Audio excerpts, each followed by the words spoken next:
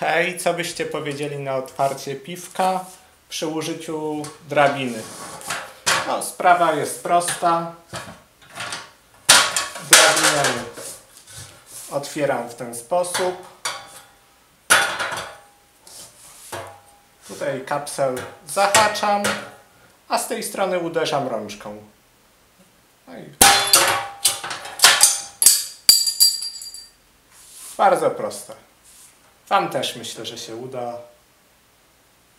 No i wasze zdrówko.